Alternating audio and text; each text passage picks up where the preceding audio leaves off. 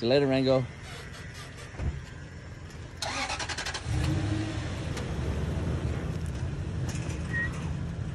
You want me to play again, Rango?